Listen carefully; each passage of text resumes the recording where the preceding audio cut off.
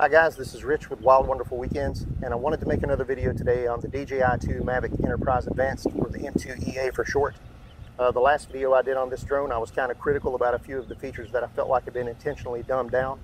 And while I stand by those critiques, uh, today I want to talk about something that I think that DJI got incredibly right on this drone, and that's its thermal camera, its resolution and capabilities. Um, so today we're going to take a look at how to shoot thermal images and video on this camera. We're going to talk about how to use the thermal zoom, and we're going to talk about how to get uh, temperature readings right on your screen while you're shooting. Then when we're finished with that, we're going to move some of our videos and images over to the computer, and we're going to take a look at those in DJI's thermal analysis tool. We'll look at its capabilities and how to create a meaningful report for your clients. So let's go ahead and get the drone in the air and take a look. Okay, so I already have the drone in the air. If you would like to watch a video on launching this drone using DJI Pilot, tap the link to the video of my first flight of the M2EA. You'll notice on the left of the screen we have two buttons. Since I'm already viewing through the visible camera, the button options are split and IR. I'm going to go ahead and tap IR to view through the thermal camera. Notice on the right side of the screen there are two zoom scales displayed. The one on the left says IR and the one on the right says visible. Right now they're both set to 1 times zoom. Since I'm currently using the thermal camera, I will only worry about the IR zoom scale. At first glance you may think you can change the zoom by sliding the scales, but that isn't the case. To change zoom you must tap the plus or minus buttons at the top and bottom of the zoom scales. I'm going to zoom in to two times and take a still shot. I can toggle back and forth between video and still images by tapping the toggle icon just under the word menu on the far right of the display. Whenever you take a photo or record video, the sensors in both the visible light camera and the thermal camera record simultaneously, so you'll always have two versions of what you're recording, the visible light version and a thermal version. Now that I've taken the photo zoomed in at 2 power, Let's take a look at what's on the SD card. Right away you'll notice that it didn't record at the zoom setting we were using when we shot the picture. It turns out the zoom is only for us to use while we're flying so that we can get close views without necessarily flying close. But to actually have the image show zoomed in, we would need to open it in a photo editing program like Photoshop and crop in. Notice also that we do indeed have two versions of the same image, a visible light version and a thermal version. Now let's go back to the flat screen and look at how to change the color palette of the display. Depending on what you're recording, some color palettes will make it easier than others to highlight what's important in the scene. You can experiment with this while you're shooting and choose what works best for the situation. To change the color palette, tap the Painter's Palette icon just below the drone's battery display in the upper right part of the screen. This will open up a group of color patch icons along the bottom of the screen that you can swipe through and tap to select. One of the cool things we'll see in a bit is that regardless of which palette you shoot an image in, you can change it in DJI's thermal analysis tool later if you decide another palette works better. So for me, I'll keep it in iron red for now, and I'm going to shoot a short video clip of my subject.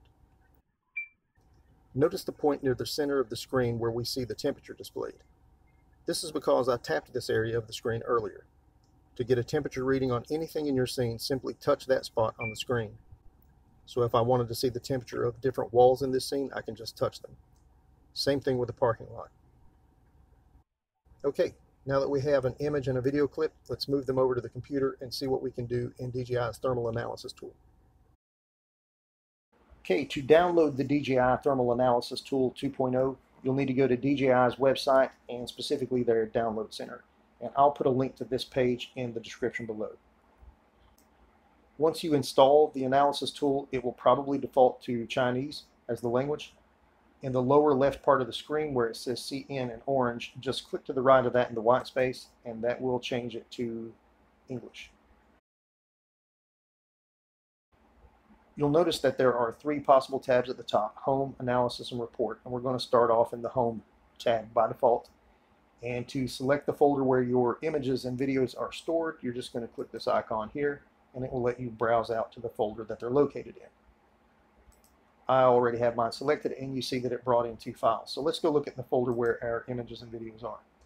You, will remember I took one still shot and one short little video clip and I have four files. That's because one is thermal and one is visual light. And the same is true for the videos.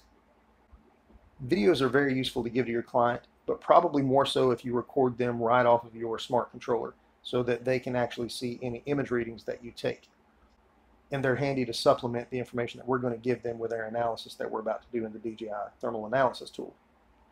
But the tool itself only works with still images. It does not work with video. Once you select the folder where, you, where your image files are stored, they're going to show up in the preview section here, the working section. And to actually start analyzing one of these images, all you have to do is double click it. To zoom in and out, you can use the scroll wheel of your mouse.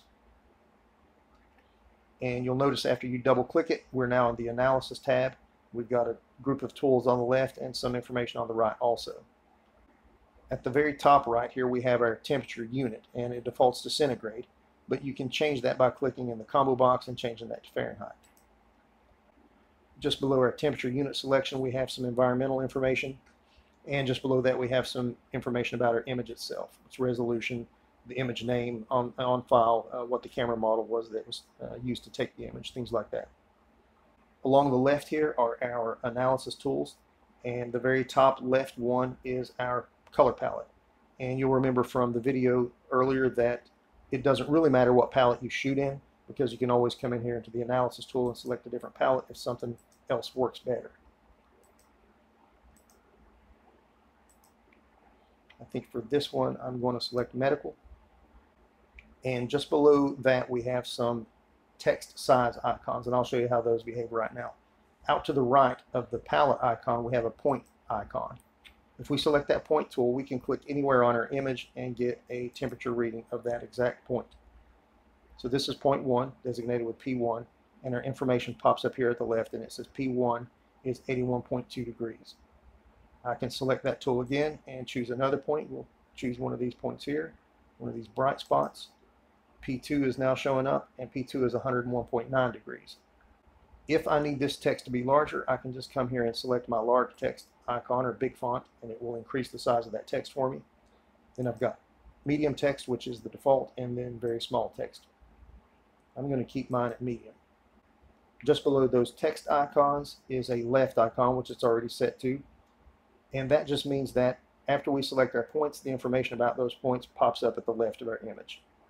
If I select this icon that says normal, it's going to pop that information right down with the point itself.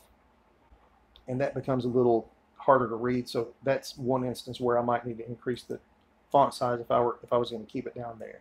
But I'm actually not. I'm going to keep it to the left. But I also could select right by clicking that icon. Below those icons, we have a text color icon, and that lets us do exactly that. We can change the color that our text is displayed in. I think I'll keep it white. And below the text color icon, we have a cursor following tool. If I select that tool, wherever I move my mouse cursor over the image, I'm going to get a readout, a temperature readout.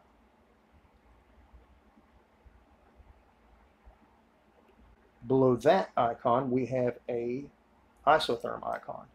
Now, since we shot this image with the M2EA, we don't actually have to use the isotherm tool. What that would do if we shot this, let's say with an H20T uh, camera, the Zenmuse camera, we would need to turn on isotherm to get the scale bar here on the right. But with the M2EA, that just pops in on its own. And at the very bottom is a trash can icon that says delete all. And if I click that, any points or any analysis tools that we put on the image at all are going to be deleted. So I'll go ahead and click that now, and it gets rid of our points. Now in the right column again, the second one down, under the point tool, we have a line tool. And with a line tool, we can click and drag a line across a section of our image. And what that's going to give us is a bit of information about the temperatures covered in that line. It lets us know what the maximum temperature is in that line, what the minimum temperature is, and what the average temperature is across that line. And if we select that again, of course, we could draw more lines. I'm going to go ahead and delete those. Below the line tool, we have an area tool, and it behaves a lot like the line tool, except we click and drag out a rectangle, and we get the same type of information. We can also select circle and draw a circle and get max, min, and average temperatures. And any of these shapes can be clicked and dragged, and the information will update. So you can click and drag those to new areas to analyze. So they're really powerful tools, really quick, intuitive, and easy to use, and they give you a lot of good information right off the bat. Finally, there is a polygon tool. We select that, but we don't click and drag. Instead, we just click to define points. And then to close it, you can right click, and that will close that polygon. And it can also be moved around. Below that is a trash can icon to delete whatever the last selected tool was. So since the polygon was the last one we did, if I click that trash can, it's going to remove the polygon. But I'm going to go ahead and delete everything. Then we have a set of icons for orienting the picture itself. Right now it's at no flip, which means that it is the orientation that it was shot in. Below that I can flip it vertically. Below that I can flip it left to right. And below that I can flip it diagonally. And then I can reset it with no flip. To the right of our screen we have the isotherm scale and right now it's taking into consideration everything within the image and it's telling us that our highest temperature within the whole image is 114 degrees Fahrenheit and our coolest temperature in the whole image is 60. Now we can actually decrease the band so that it only shows up temperature ranges that we're really interested in and this can be really useful if you know that you're looking for an anomaly within a certain temperature range like if you were doing search and rescue and you wanted to only look for say the temperature that a human body might be so like 75 to 95 degrees you can narrow that temperature band and they're really going to stand out. So for instance, now we see that anything above uh, 95 should show up white and anything below 73 should show up black. And green is in the middle there. So, you know, if I were, were to uh, actually hover over green, we see that, yep, it's within that range. And so that's that's one way to kind of block out information that you don't need. You see how it's just kind of washed out the parking lot and the sky up here because that's going to be outside of the range that we're looking for. Uh, so isotherm can be handy again if you're looking for any type of anomaly that you know is going to be within a certain temperature range. So let's go ahead and reset all that. So those are our analysis tools. Let's say that we just wanted to give a quick comparison between the shady side of the building and a side of the building that's absorbing full sun and compare it also with maybe the roof of the building. So I could choose my point tool. I can select the shady side for point one, sunny side of the building for building for point two, and the roof for point three. I have my information right there. And now I could click the report tab and I could save that image with the markup on it. You can select your company's logo to go along with the report, put in a custom title, any comments that we wanted to make.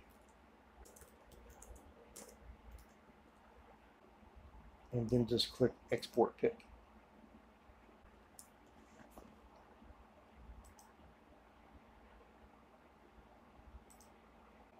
So far, I haven't had any luck with the export text report tool. When I click that, it asks me to browse out to where I would like to place my report, and I click Save and the wheel spins for a little bit and then I usually get an error message. So I'm not sure what's going on there, but it's not impeding me a whole lot because honestly I, I don't mind typing up my own reports anyway and then just using the images that I mark up as the uh, as the real meat of the information that I'm going to turn over to my clients.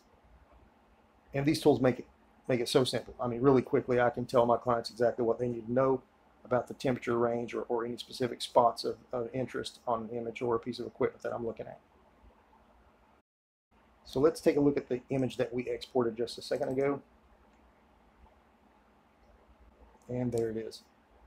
And so that's pretty much it, guys. I just wanted to give you a quick overview of how to use some of the thermal capabilities of the uh, M2EA and also how to analyze those images in uh, the DJI thermal analysis tool.